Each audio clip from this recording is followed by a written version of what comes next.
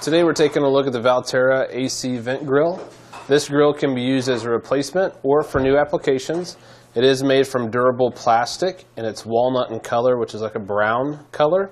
It's designed to fit inside of a 4 inch vent hole. So if we take a measurement of the diameter back here, outer edge to outer edge, we're looking at about 4 inches, which to be more exact, it's 3 and 15 sixteenths inches. The slip length, that's from the bottom of this portion here to the end.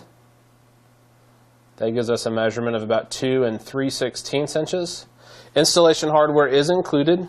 The mount holes on the unit, there's one here and one here.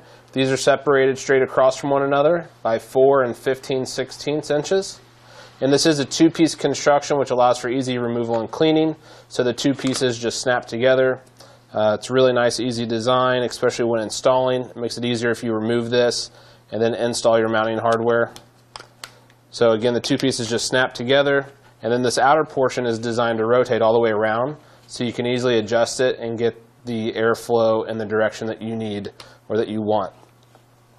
The overall diameter, edge to edge, that's going to give us a measurement of about five and a half inches to five and five eighths inches.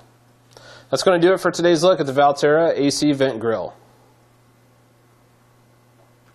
Thanks for watching. Click the link in our description below to shop, learn more, or visit us at eTrailer.com. And leave us a comment if you have any questions.